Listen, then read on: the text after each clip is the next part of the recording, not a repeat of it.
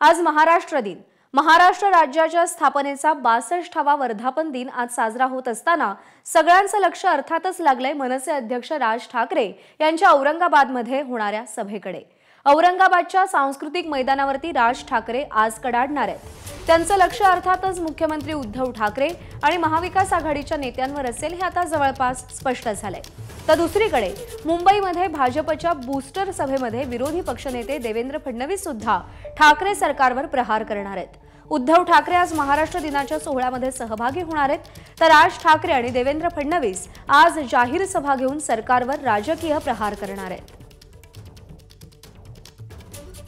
कृष्णा केंडे आपले प्रतिनिधी औरंगाबाद मधून सध्या आपल्यासोबत आहेत कृष्णा कालपासून खरं तर काउंटडाऊन सुरू झालाय सभेचा. अवघे काही तास उरलेले आहेत राज ठाकरेंच्या सभेमध्ये. कसं वातावरण आहे औरंगाबादमध्ये?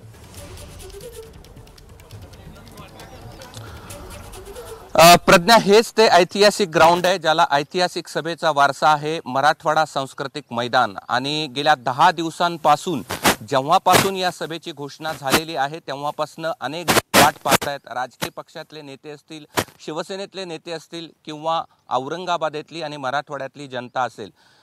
राज ठाकरे यांची सभा का कधी होणार?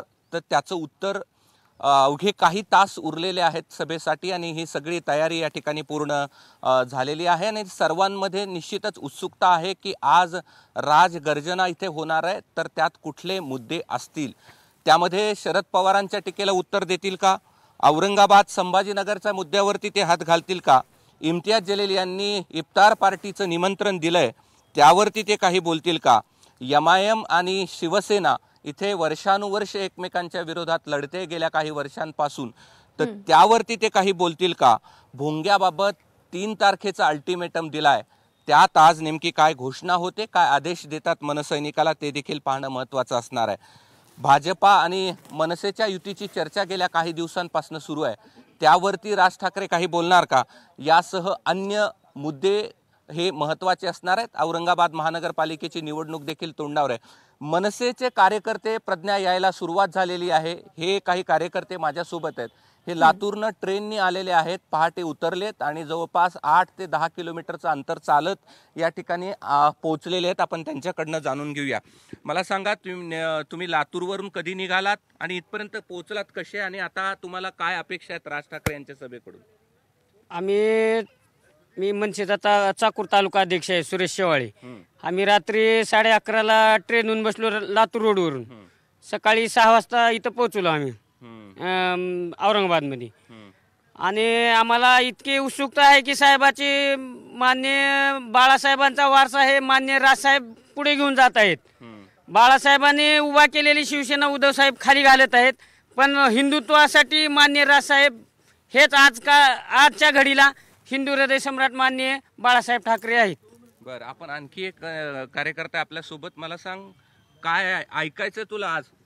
आज जे गोष्टी आहेत की माननीय राजसाहेब ठाकरे यांच्या भाषणामधून जे सतत भगवाधारी किंवा एक हिंदुत्ववादी म्हणून जे धोरण धरलेलं आहे ते माननीय बाळासाहेब ठाकरे यांच्या तंतोतंत पा वाटचालीवर राजसाहेब चालत आहेत. आणि आम्हाला त्यांच्या भाषणातून अशी ऊर्जा मिळू लागलेली आहे की खरोखरच आज बाळासाहेबांचा जे वारसा आहे तो राजसाहेब घेऊन पुढे जात आहेत आणि त्यांच्या संग आम्हाला जायला काहीच हरकत नाही. म्हणून आम्ही लातूरवरनं या ठिकाणी आलेलो आहोत. अतिशय उत्साह पूर्ण लातूर जिल्ह्याचा उत्साह आम्ही दाखवण्यासाठी इथंपर्यंत पोहोचलेले आहोत. आम्हाला भरपूर त्रास झाला वाटेने.